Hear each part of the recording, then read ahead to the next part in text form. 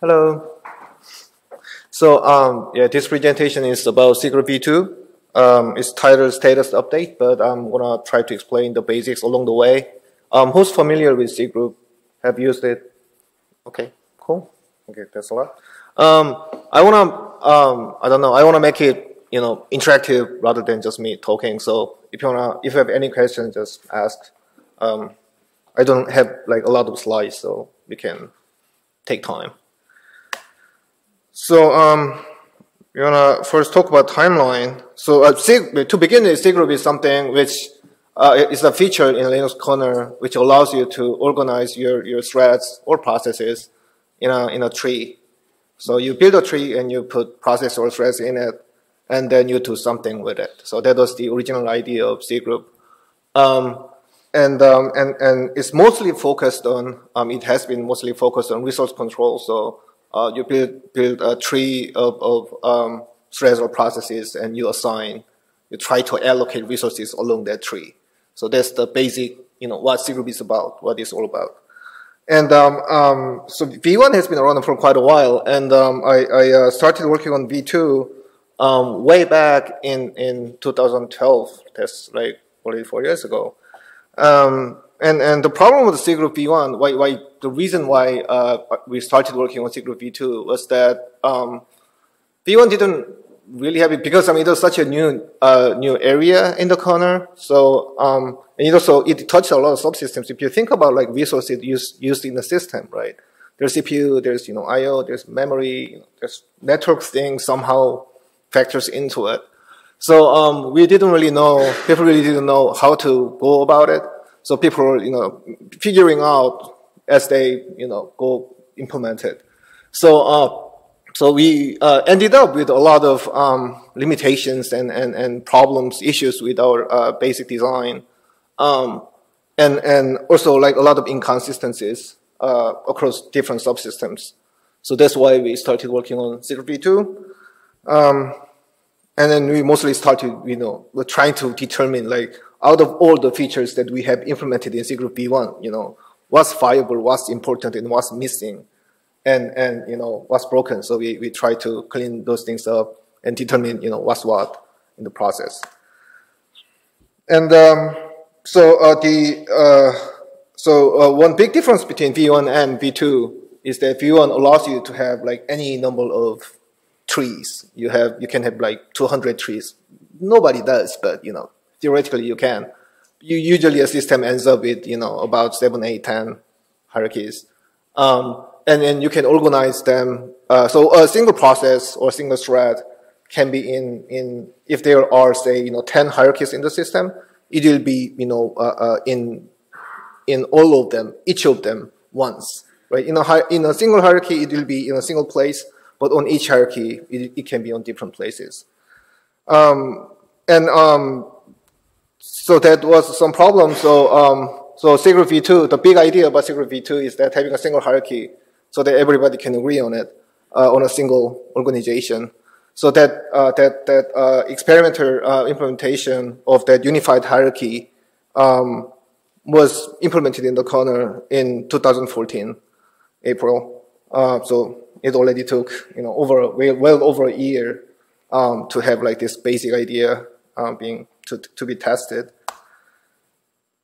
And um, and uh, last year uh, around winter um, um, after so um, so between 2014 April and to the last winter the kernel had code for unified hierarchy but it was hidden behind an experimental flag. so like if you boot the kernel with a really like awkward uh, uh, kernel parameter, kernel argument, then you could you know access it. And that's how we evolved the implementation over time. Because I mean, it was so uh, it was really um, its implementation is really intricately um, intertwined with e existing cgroup v1 code base, and we didn't want to you know have like this large um, change outside the kernel um, and then you know try to you know uh, keep them in sync so um, implementation of cgroup v2 was, has happened inside v1 uh, by gradually evolving it inside kernel without you know, actually exposing it to user space. And um, um, but last winter we decided that you know it's not good enough. Um, um we have been uh, testing with uh, some user space parts and, and different scenarios, and, and, it seems to work fine. So uh, we removed the um, um, experimental interface, I mean ex experimental flag, and exposed it as a, a proper uh, file system type so that people can use it. And that's not going to change. No, I mean it's set that part and it's now it's in set in stone. So right now, uh, uh, memory and I/O and PIDs controllers are um, supported on Cgroup v2, um, which is you know pretty good set. But uh, there's a, a, still big missing piece, which is CPU controller. Um, so I, am going to come back to that later. But that's the status quo. Uh, that's the current state. Um, you can you can do memory I/O and PIDs, but not CPU when you download the mainline kernel. Uh, so uh, what's what's V2 about? Um, like in, in contrast to V1, this is what some what V2 is about, and and um, so V1, right? Uh, as I, I, talked before, talked about before, um, you have your organized processes and you do something vaguely, vaguely related to resources with those hierarchies. And, and that was what V1 was. And the problem was that different, so if you look at, you know, CPU uh, uh, uh, usage control and IO control and memory control or whatever else, you know, network control, they were all doing things wildly differently. And there was no consistent scheme um, or, or, or, resource model behind them. So um, they were all behaving fairly differently. And, and some are not, you know, compatible with each other at all. Um, for example, right, you have a tree, right? And, and you think because it's a tree that the behavior would be hierarchical, right? Uh, uh, resource consumption in a child would be attributed to parent two, right? Otherwise, the tree doesn't make any sense, right? But some controllers just didn't do that, right? They had a tree, but they just ignored all the tree structure. So um, there were just a lot of inconsistencies everywhere and um, and also resource control because you know we were I think we were learning our way through it. Um, it was fairly opt-in, right? I mean, we didn't start out with the goal of um, we want to control and account for you know all noticeable resource consumptions on the system, right?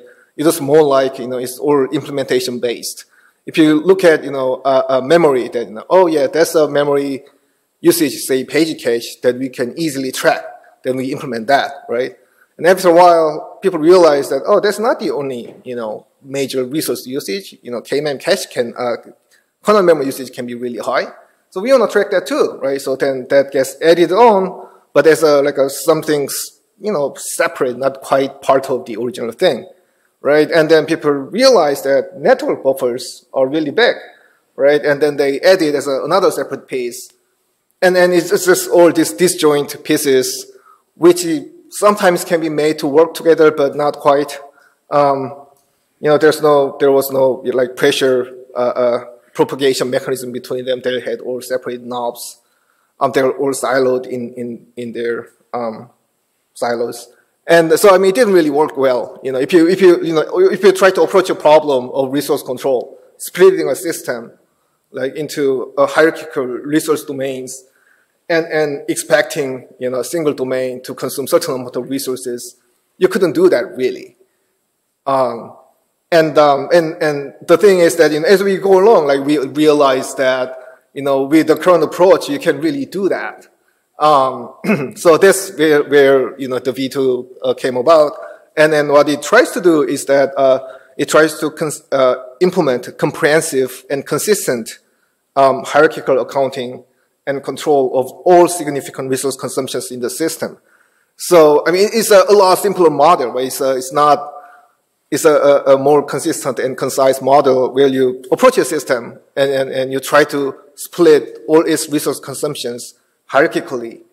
And, and that's all it does.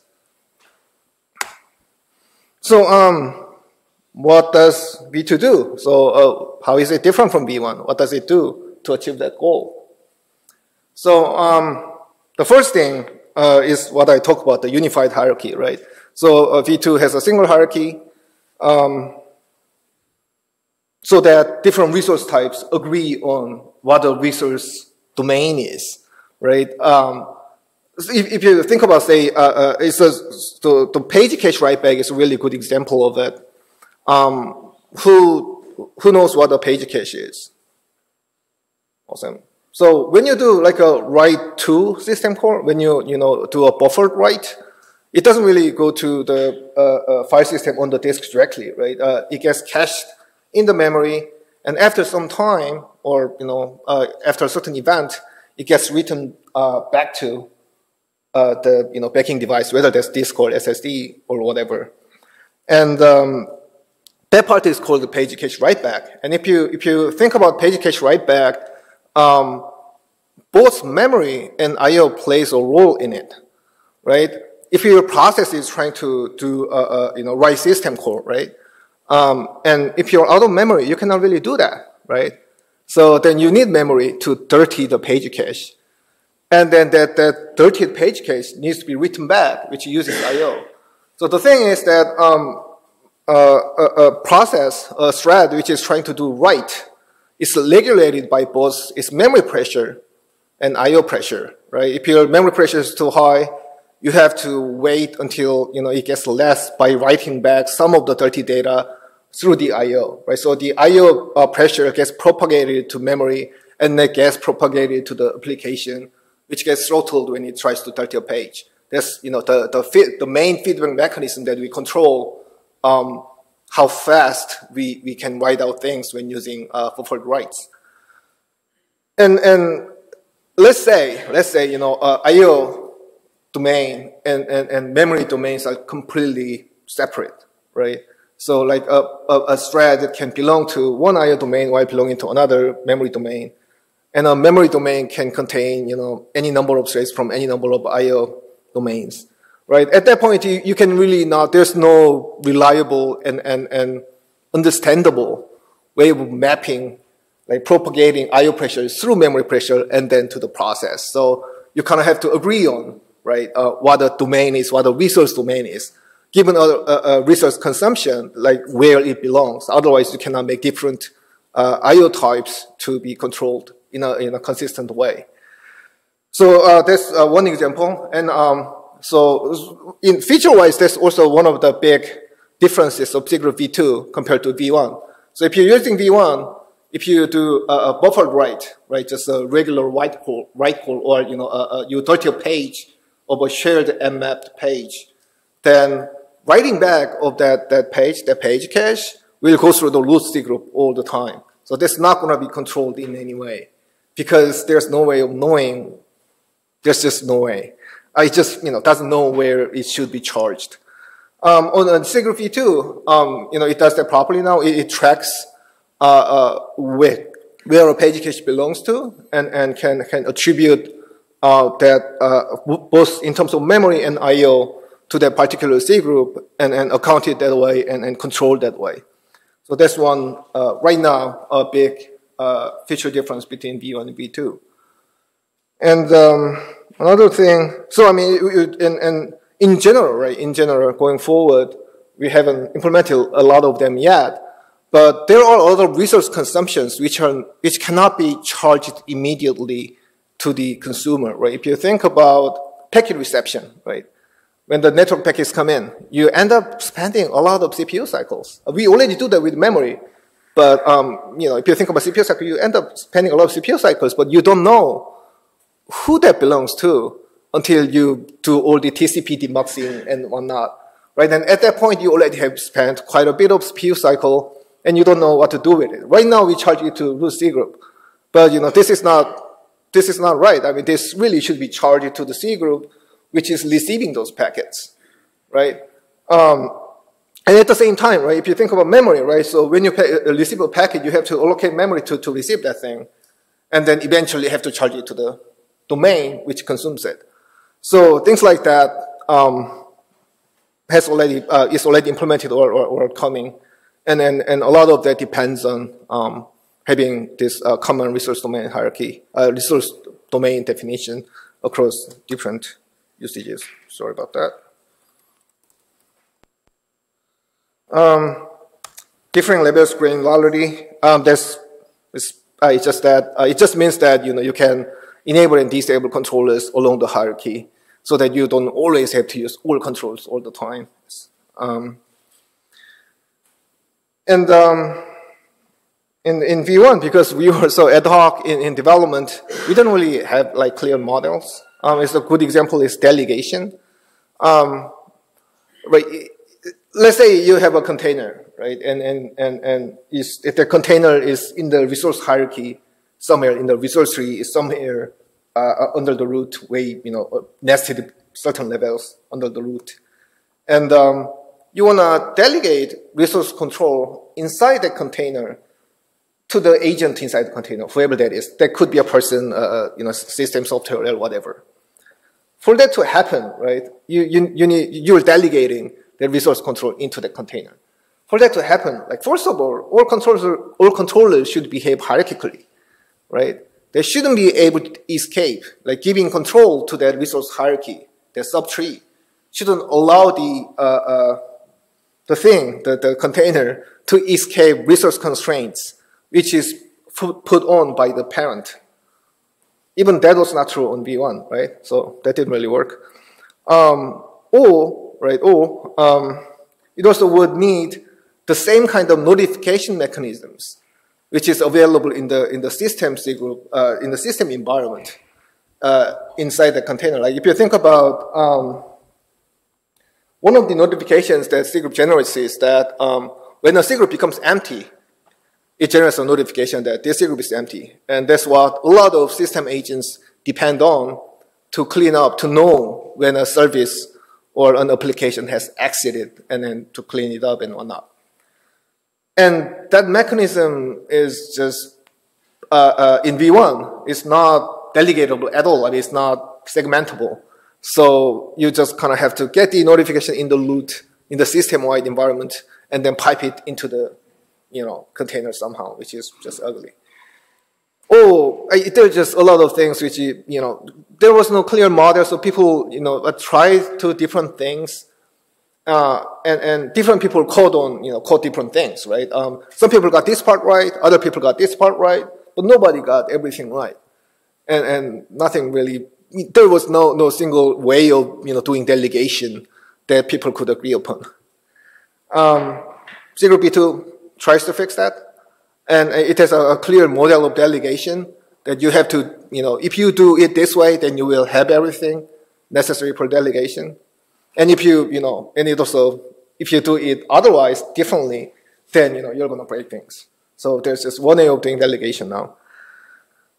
Um, and similarly, like uh, all controllers now agree on uh, several resource types. So, for example, like uh, resource control models. For example, right, uh, CPU and, and I/O, well, CPU is still out of tree, but you know they they have um, weight-based control, proportional control, which says that this group should have you know twice more than this group, right? But while you know uh, conceptually they were the same on V1, they had completely different interface. You know, they have uh, different base values, they have had different ranges, and they had you know different interface format, uh, file formats.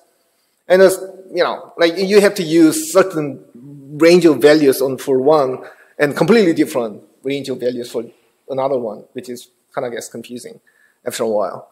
So uh, V2 uh, kind of strictly defines uh, you know several uh, control models and how the interface should be and what the value ranges should be um, so that you know they all behave in a uniform way. And um, I talked about uh, notification, but there were other you know various cleanups. So uh, the problem with CPU controller, why it's still out of tree. So what what um, what is out of tree is not that big. Um, so the CPU controller still has all the code for V1, and what is out of tree is just the part which exposes um, CPU controller on a V2, V2 hierarchy and it's like less than a 100 line patch. It's not, you know, that, not that much of a change. It's just a, declaring interface files for V2 and that part is missing. And, and uh, the problem there, why the reason, the reason why that's out of line um, at this point is because, um, so CPU controller, uh, I mean, scheduler uh, maintainers have certain objection to uh, the core designs of C group V2 and, um, and, uh, and um, objects to exposing a CPU controller, which is part of scheduler in, in, in, under, in the group V2. So we are still, you know, talking you know, how to, you know, how to agree upon a certain way, uh, agree upon these issues.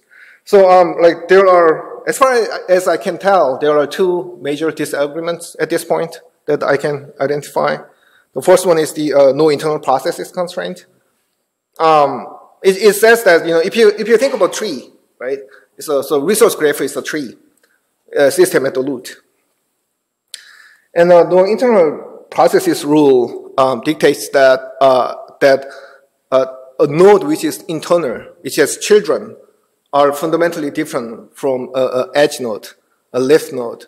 And only, uh, only leaf node can contain processes.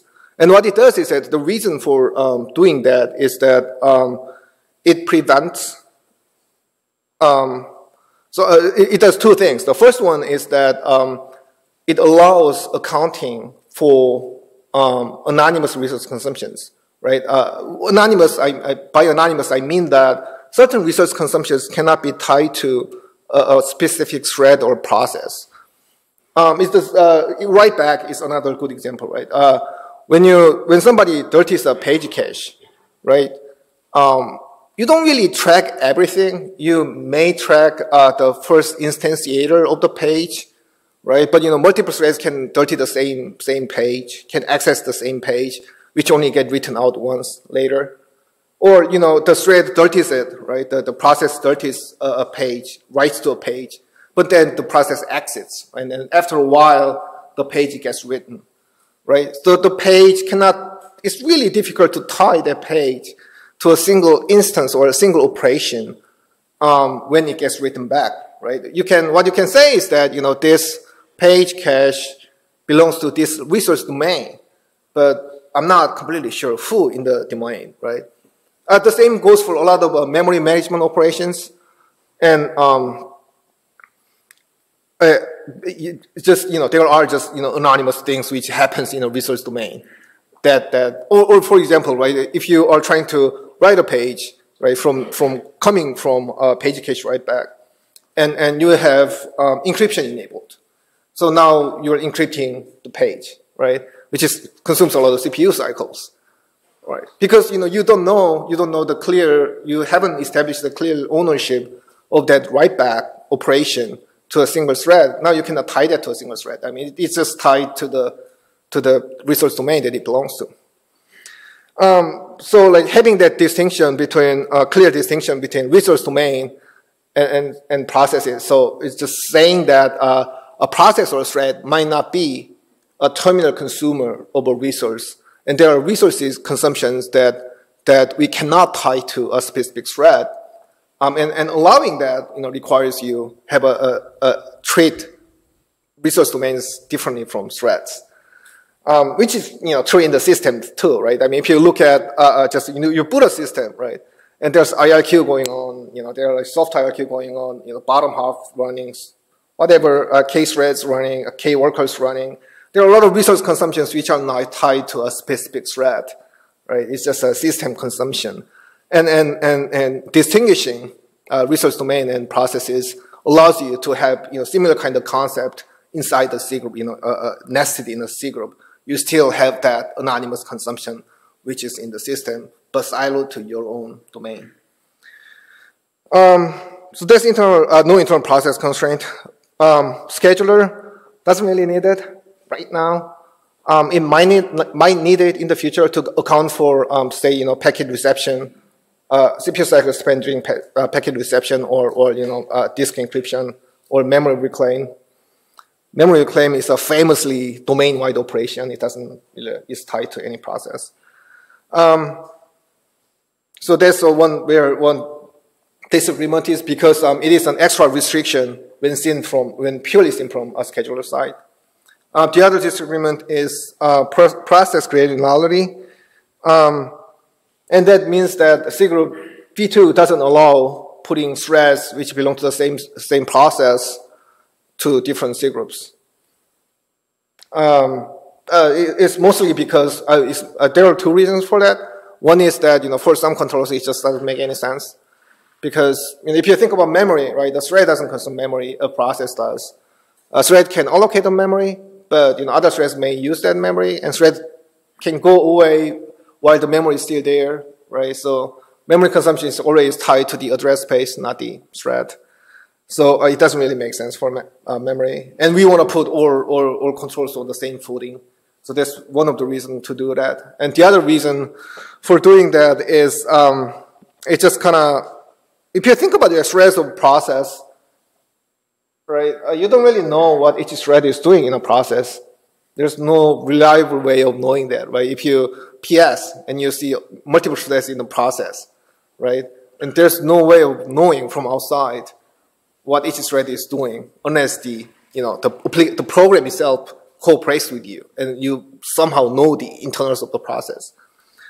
And um, so, I mean, like, so, so the thread knowledge is uh, uh, something which belongs to the application.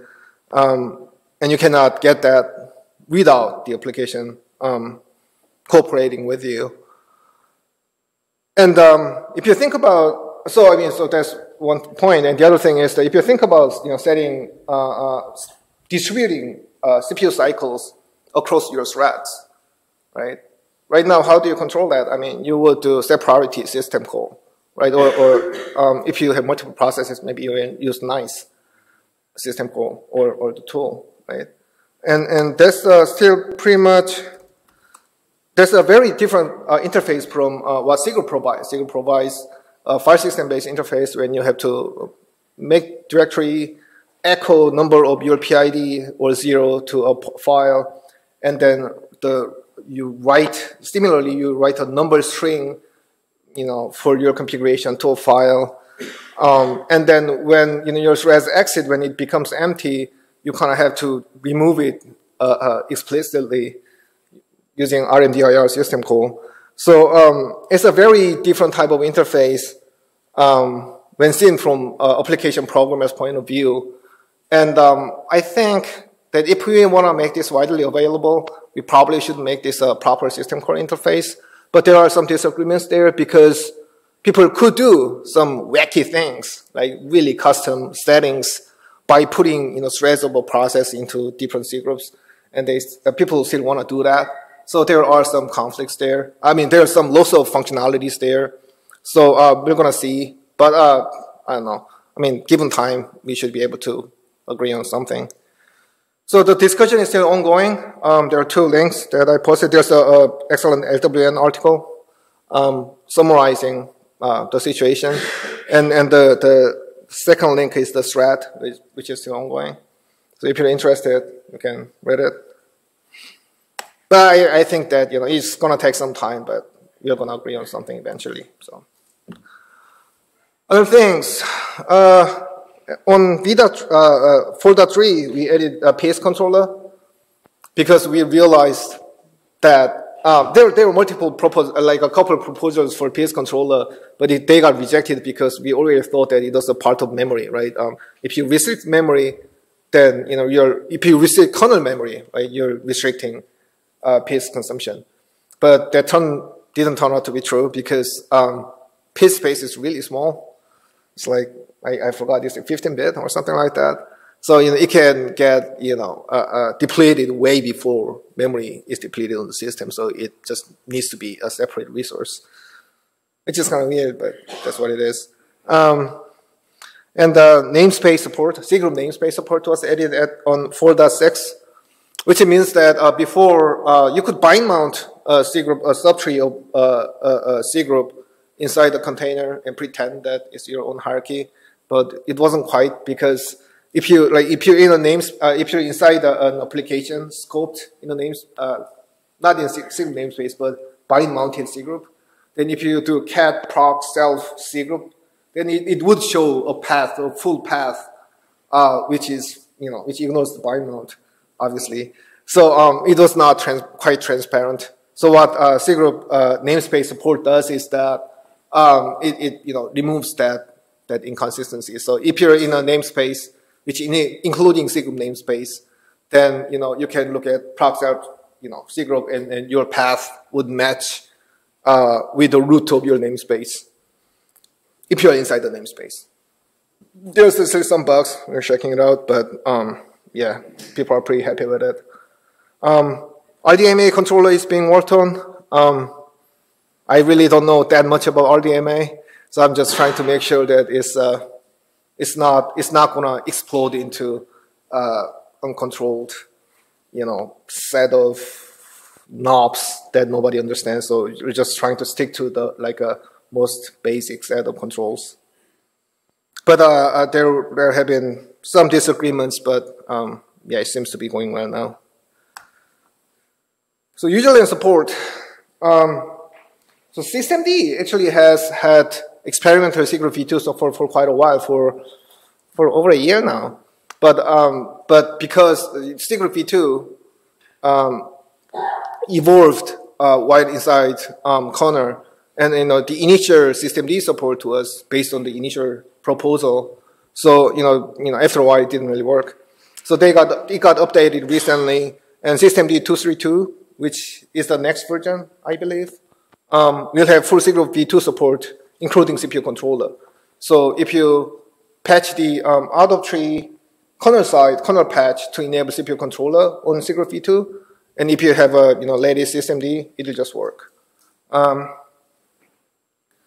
also, uh, uh, uh, systemd 232 will be able to use Cgroup v2 for process management instead of v1, even when you are using v1 for everything else, for, for actual resource control. And the, the, the reason for that is that uh, v2 is just another hierarchy, so you can use it in parallel with other v1 hierarchies.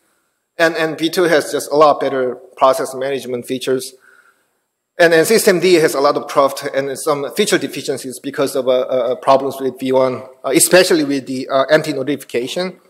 So um, uh, systemd, I, I, don't remember the de details right now, but um, systemd wouldn't be able to tell whether a service became, a scope became empty or not in, under certain conditions, and that kind of goes away with V2. And, um, and also the code becomes a lot simpler. So yeah, systemd will be uh, using V2 and it's for process management, even, you know, if not for um, resource control. And I'm, I, am working on uh, libvirt support, and it both, uh, so I, I personally worked on systemd and libvirt support, and, and that's mostly because that we try to use it uh, inside Facebook, and then, you know, we use systemd and, and libvirt, so that's why uh, I'm working on it. And then, so I started working on libvirt support, hopefully it will uh, land, you know, in not too far future. And um, like in in in Facebook, uh, we are deploying CentOS 7 and mainline systemd. So we just take a trunk systemd and uh, we, we try to develop everything in, in, in the trunk and then deploy that. And, and we are trying our system, uh, Cgroup v2 for resource control inside Facebook. And uh, it, there we are we are hitting some um, uh, some um, issues, but it's progressing pretty well. So uh, that's all the slides I have. Um, questions, comments?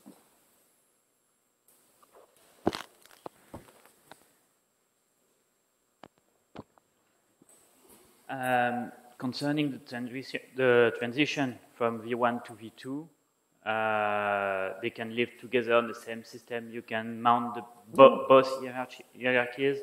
Yeah, so um, V2 is uh, another hierarchy. Um, so the only thing is that uh, uh the, the, only restriction there is that if you have, uh, say, let's say I/O controller, right, or, let's say a memory controller, right, whatever controller. If you have a memory controller, then that controls a specific type of resource, right? Memory control, controls memory consumption in the system, right? And, and it's the same in V1, right? If you have multiple hierarchies, even when you have multiple hierarchies, you can only attach memory controller to one of them. Right? You cannot have you know two entities controlling memory on the same system. That doesn't make any sense, right? So like, the only restriction there is that if you you can have both V2 and V1 hierarchies, but the memory controller or any controller can only be one of those hierarchies at a given time. Right? So if you use memory controller on V2, you know you are not going to have that on V1 and then vice versa. But other than that, you know, you can just have a gradual transition. You can have situation where you have memory and I/O on V2 and CPU on V1. That's completely fine. But but given the, the, the, unified hierarchy in V2, does it mean that uh, we have to handle Memory, everything if we put a no, no. Uh, so you can you can uh, so unified means just that um, if you use V2 hierarchy and if you say attach IO and memory to it, among the attached controllers, they will share a, a resource domain definition with the hierarchy. Right? Uh, controllers which are not on V2, not on the unified hierarchy, has nothing to do with them. So unified only among the controllers attached to V2. So you can make the transition gradual. Okay.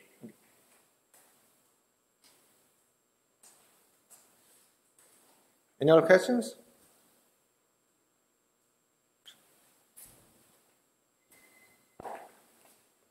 Hi.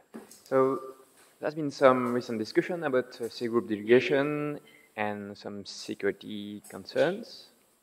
So do you think there's some improvement there, or what do you think about that? Uh, I didn't quite catch the uh, question. Was that security um, and C-group? Yeah. I think uh, one concern maybe to, when, when you want to move some um, processes from C group to another one, so it's not an atomic operation. So this may be a concern for uh, when you delegate some C group parts to unrelated processes. I, I, I, didn't quite catch the second part, I'm sorry. Um, so some, people are, are concerned because uh, you, if, if you want to apply some um, controller, some constraints uh, on a C group, on, on processes from on a C group, um, if um, another process than other than uh, the main one, like uh, systemd, for example, so um, let's say systemd control uh, most processes, and if um, a process uh, controlling a C group, uh, thanks to delegation, move one um, set of processes from one C group to another, okay. some controller, well, they may some they may, they may have some races there because okay. Uh, so, um, okay, I, I think I know. Okay. So, uh, like on in V1, um, we had a lot of, well, one of the issues that we had with V1, two of the issues that we had with V1 is the first one is it was not hierarchical. So if you delegate, right, um, your security, security wise, you're kind of messed up because you're like, you know, uh, you're delegating to someone who's lesser in terms of your, you know, security privileges, lesser to you, but you know, that that you know that one would be able to you know affect your resource consumption and your control. So that was kind of messed up. The second part was that there was just we had a lot of bugs, um, a lot of race conditions in the whole thing. So like the moving processes and threads, and if you configure things in certain ways, things would crash and, and you know just misbehave. And I believe like it, I'm sure that there are bugs there, but um, um, Cgroup V2 should be safe in terms of delegation. Um, so if you delegate the subtree. So there are still a couple issues that need to be addressed. The first one is that you know the depth of the tree. We we probably should implement a way to to limit the depth from the parent, so that you know it doesn't you know create like a you know 2,000 nested C groups. Um, and the other part, um, um, I forgot. But yeah, that's one of the issues. So, I mean, there, there, there are a couple of issues. Of my, I don't think they are big issues. But like in terms of like big picture thing, right? Uh, resource control, uh, privileges, you know, moving processes. I think we are pretty good on that side now. And it's design wise, we should be uh, safe. Um, like the other part is that like uh, uh in V1, right? If you have if you have like two subtrees uh, delegated and they share the UID, you know, so if you delegate two completely disjoint subtrees to the same UID, they would be able to move processes and threads across those two subtrees, which is not what you want, right? I mean, you, you, you created the subtree, and when you delegate it, you expect them to inside that subtree, not jump to other subtree. So uh, that, uh, that part is fixed now. So in V2, uh, you cannot do that. You can only move inside your subtree. So uh, yeah, and it's design-wise, I think it's okay now. And then implementation-wise, we fixed most of the most, you know, egregious bugs, so should be fine, hopefully. Is there support for the freeze uh, controller in cgroup v2? So um, Freezer, Freezer is an interesting story. Um, I didn't go there on this slide, but um, when you freeze a, a, a C group in a V1, what happens is that you basically stop userland threads in random places in the kernel in a D state, in an uninterruptible sleep state. Right? You cannot even kill them. If you try to ptrace attach them, you're, you know, the, the attaching process. If you do, it got fixed recently, but um, like until two, three months ago, if you have a GDB, right, outside in the, in the system root, and, and there's a process inside the uh, which is frozen, and if you try to attach to that, that process from outside, your GDB would enter uh, uninterruptible sleep too, and it wouldn't be killable, right? Which is just, it's just broken, right? The whole thing is just horribly broken. So um, what, um, what, so we are working on a, a better feature for V2, and what we are going to do is that share um, job control stop. So it's just going to be, you know, when you send a SIG stop, a process stops in a well-known spot, right? It's a well-defined. You can kill it, you can trace it, you can resume it, right? So um, uh, being worked on V2 will be an extension of that. So it's going to be a transparent in terms of signal delivery, but it will use the same stopping mechanism so that you know you you you can kill it and it's a well-defined state. It's not you know stuck in random place in the kernel. So that's what we're working on, and probably hopefully we will see it uh, before the end of this year.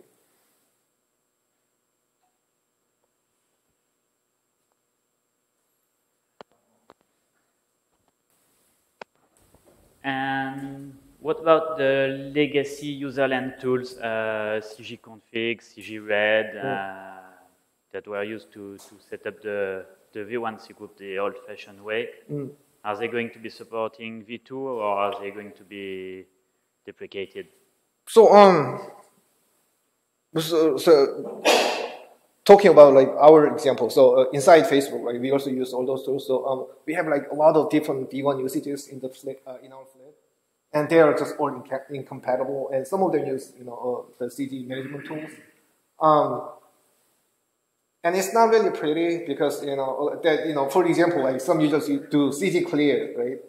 Which basically assumes that CG clear. What the CG clear does is that it just destroys all C group, every C group in the system, right? So if you know if you have two users in the system and they try to share the system, and if somebody does CG clear, then you just, I what I don't know, right? So um, it's really not built like those uh, CG tools are not really built with um, sharing in mind, right? It's just this is a, a basically a, a, really thin layer on top of, of the file system interface, and um, uh, so so as long as you use v, uh, V1 hierarchy, right, they are all going to work perfectly fine. Um, and, and, and, even if your system uses cgroup V2, right, um, inside your, your namespace, cgroup V1 hierarchy can be used, um, uh, except for that, you know, controller restriction, right, the same controller has to be on one type of hierarchy. Except for that, you can use um, the same tools that you have been using all the time. But um, whether those uh, CG tools and, and those libraries will be acquire cgroup V2 support is unclear at this point because I'm not really sure how useful they are. So I mean, if you if you think about systemd, right? Systemd has native cgroup support, and libvirt also does. So yeah, I, I, I was talking mostly about the CGRed daemon, the rules engine daemon. Yeah, yeah. That enables you to to give some some yeah. regular expressions to classify yeah. the processes yeah. on the fly when they are spawned. And this tool. Mm could be useful. Uh, system, system D does the job, but mm -hmm. sometimes you don't have system D. Sure. Yeah, yeah, sure. I mean, there's nothing really preventing it. So the difference between V1 and V2 hierarchies are not that big, and V2 tends to be easier to manage. So um, if there are use cases where they're useful, um, I'm not sure I'm going to work on it because um, you know, I myself wouldn't be using it, right? I mean, if I look at what people are using it but it, it may be worth the effort if, yes, if someone could, is willing to do yeah, it. Yeah, yeah, if somebody yeah. wants it, then there's nothing preventing uh, that from happening. Okay, thanks.